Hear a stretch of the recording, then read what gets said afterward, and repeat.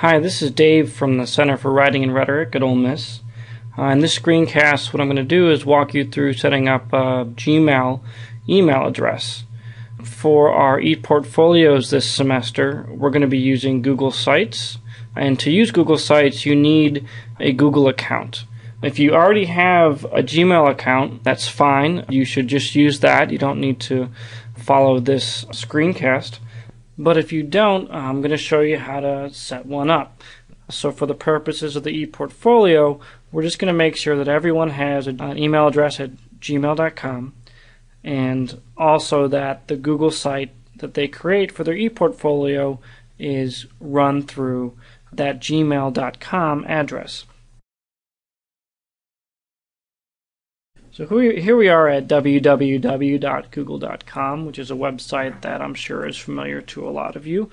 I just got to it by typing in the uh, URL into my browser. And as you see, this is the usual space where you would enter a, a query to search the internet. But if you look up here, we see some of the other services that Google provides, one of which is Gmail.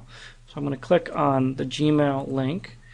Uh, it's going to bring me up bring up a, a sign-in page. Since I don't have a Gmail account, what I'm going to do is click on Create an Account.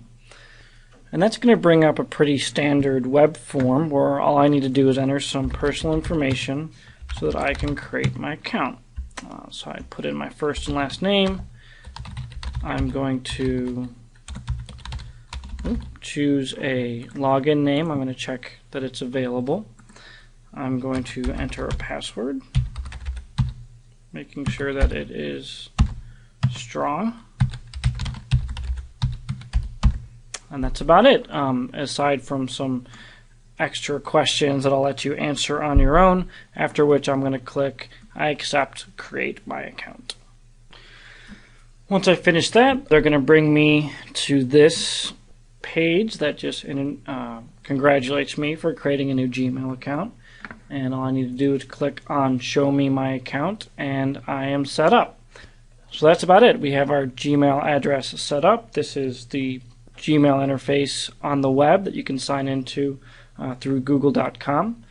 And what I'll show you in the next screencast is how to use this Gmail account to then create a Google site, which is what we will use for our ePortfolios this semester.